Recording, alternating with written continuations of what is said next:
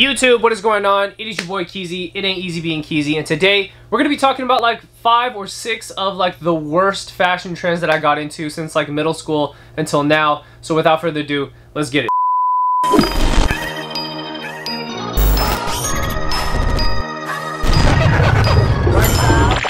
Okay, so before I start this video, I gotta give a big shout out to Alex Avalos. He has a really large YouTube channel about fashion and he does a lot of videos about like like five worst hype beast trends, fashion prediction trends and stuff. And just to be honest, I've taken some of those ideas, like starting my YouTube channel now for about a year, kind of manipulated it in my own my own style, so to speak. So like this video is kind of like inspired from his video as well. I just want to put that out there so it's not like I'm copying anybody outright. So anyways, big shout out to Alex.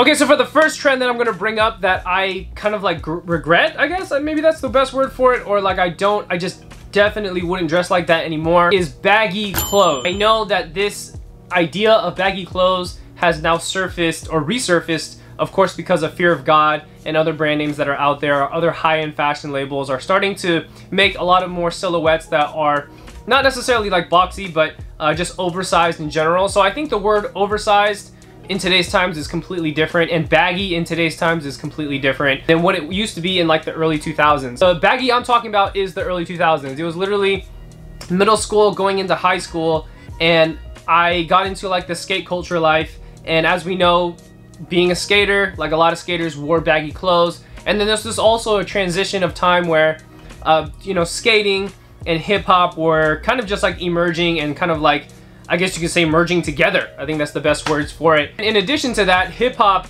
at the time it was like a lot of people wore baggy clothes whether you skated or you didn't skate at all but a lot of my friends wore extremely baggy clothes i would wear south pole pants which is now right now is so cringy um, but yeah i used to wear big south pole pants that were not my waist size i would wear like a size 36 or like a size 38 mind you back then i was like a true size 32 maybe i can even squeeze into like a 30 but for whatever odd reason, I thought it was dope to wear 38s. So just like picture that really quick. Also during the time of big South Pole, big baggy jeans that you can probably fit like two people in it, was also a time where uh, big white tees were in. So I would wear like huge white tees. It would be like a size large, which in those days, size large was not really a size large. If you buy a size large tall tee, like it literally fit like an XL or like a double XL. Like they were huge. They were massive t-shirts and I wish I had photos of it. I don't really have photos of myself rocking it. I didn't really take that many photos of myself like back in the day. Yeah, it was it was a it was a thing. Like they they were sold at liquor stores. Maybe they are still today. I don't know.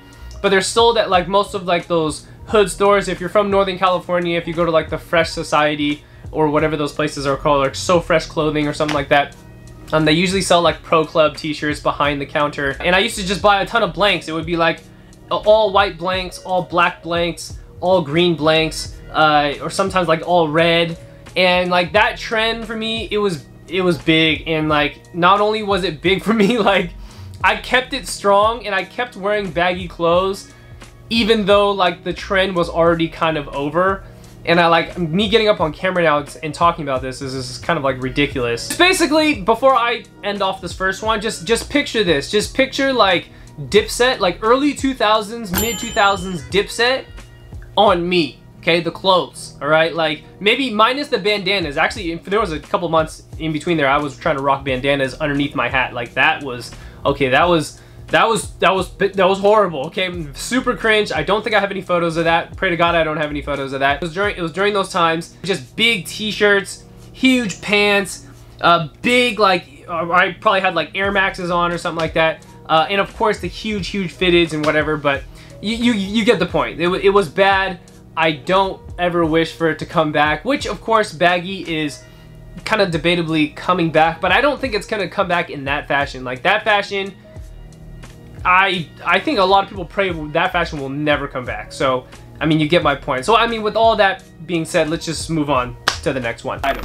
Okay, so for the next trend that I like fell into that I didn't even realize how bad it was until like later on was wearing oversized fitted hats. People that watch my channel, I think a lot of people might know that I have a smaller head. I've made like three or four videos now about like how to like find the best hats for smaller heads and stuff. So, I mean, if you get the point, like I don't have a nice shaped head that can fit into a lot of hats, but I loved hats and I've always loved new era hats since like the beginning and I've always actually worn this ace cap since high school all the way up until now ironically. What I would do to compensate my weird shaped head in my mind to like make it look better is that I would buy fitted caps that were like two or three times too big and like I guess it was kind of more acceptable back then because a lot of the clothes were baggy a lot of the rappers were you know still wearing fitted caps that were like way too big for their head uh, but that trend kind of only lasted maybe like six months to almost a year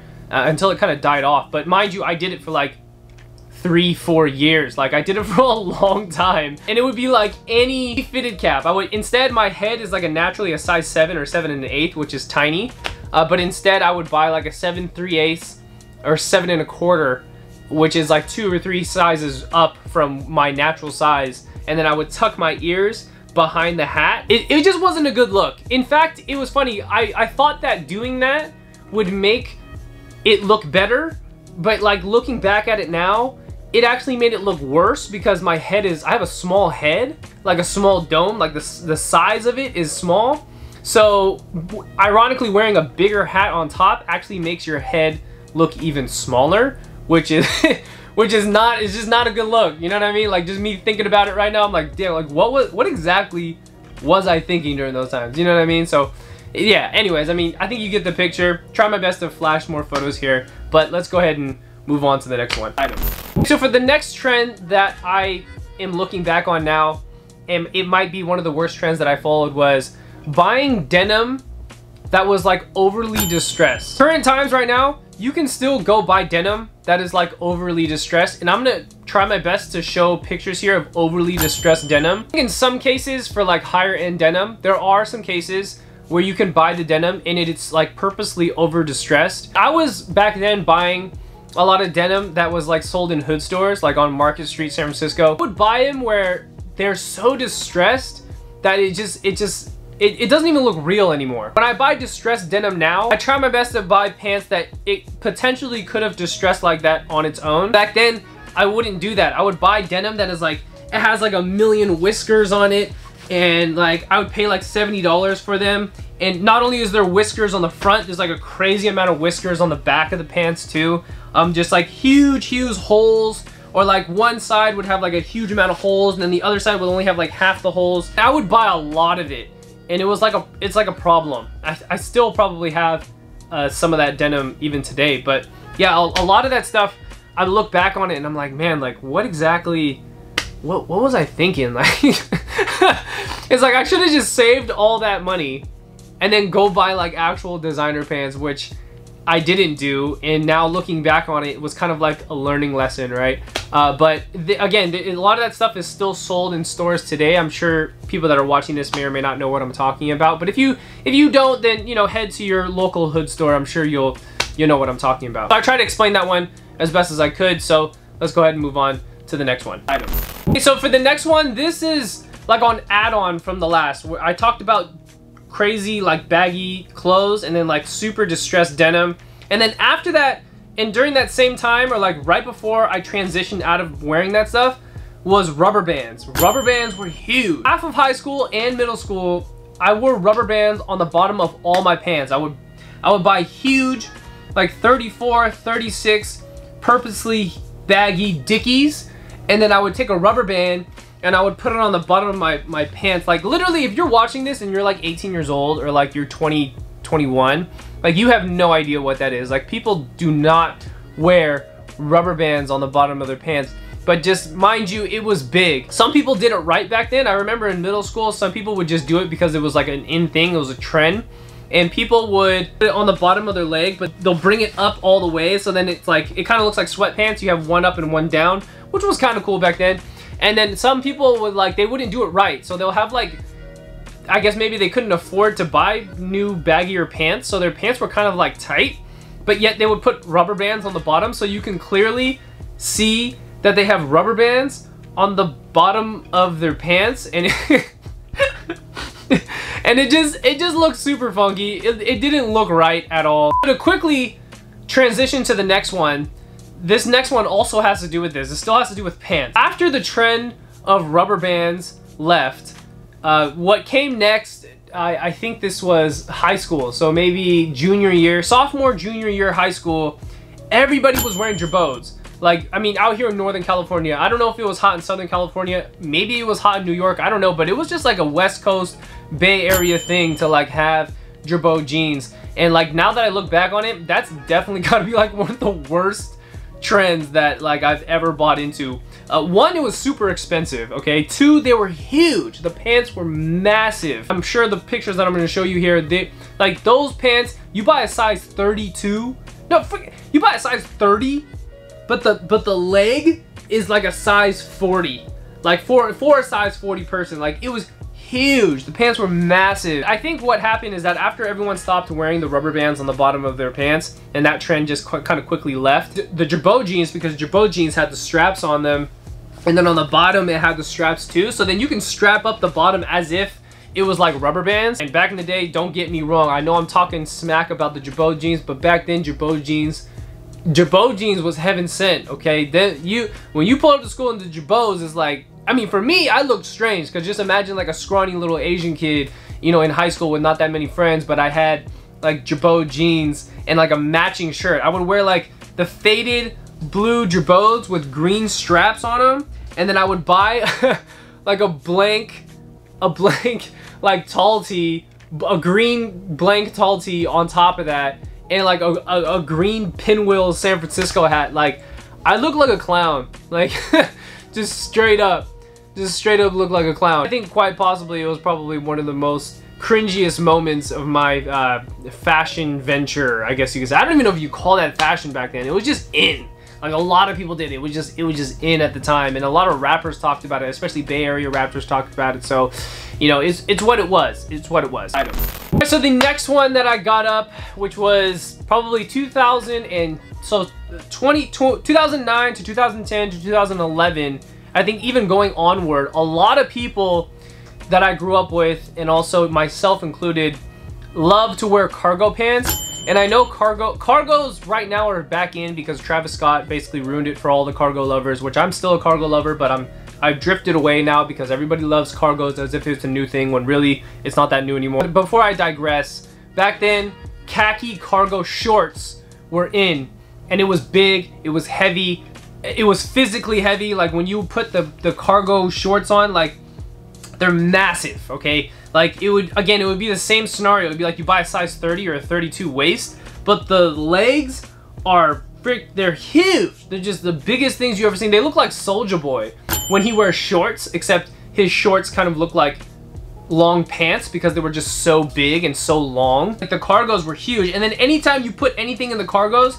you would always, I don't know, for some reason you would think that, oh, I'm gonna put my wallet inside of the cargo pants when really like that ends up being like a big weight on the bottom of your pants which is like kind of makes your pants sag and it doesn't really look that good it didn't look good, to begin with but then it's made it look even worse because now you got like these big bulgy things on like the side of your pants and it just it just was a really bad trend i think who influenced it if i were to just say this really quick is i think wiz khalifa but I, I think it's before Wiz Khalifa. I think the Curren$y, when Curren$y really started kind of like branching off from YMCMB uh, and Lil Wayne and all that, and then he started doing his own thing with Jets. Like his attire, and maybe even still today, I don't know, but his attire was like really baggy khaki shorts with like a huge t-shirt, fitteds with Jordan 4s on, and that was the look.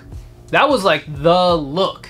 You know what I mean? I followed that look for a long time. And also transitioning from like khaki shorts after the khaki shorts, it was like camo shorts because of Wiz Khalifa. And then it was like the LRG camo shorts, which I don't know if anyone's watching this. Maybe you, you like those too. But that was like that camouflage that LRG made back then. It was big. Uh, but looking back on it, of course, you know, to go on to the topic of this video, like, those were all terrible trends, like, for sure. Those are like, if I ever find a photo of myself rocking the khaki huge cargo shorts, like, I will try my best to, like, put it back on the vlog somehow, but um, it was it was really bad, okay, looking back on it.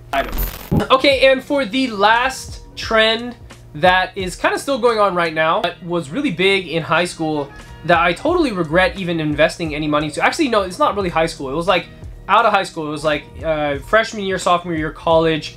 Um, but it was just really big to buy designer belts. Again, I know designer belts is kind of, it's not really, I don't know. I don't really think designer belts is that big right now people are more worried about like their t-shirts, their jeans, and their shoes, like a hype sneaker right now.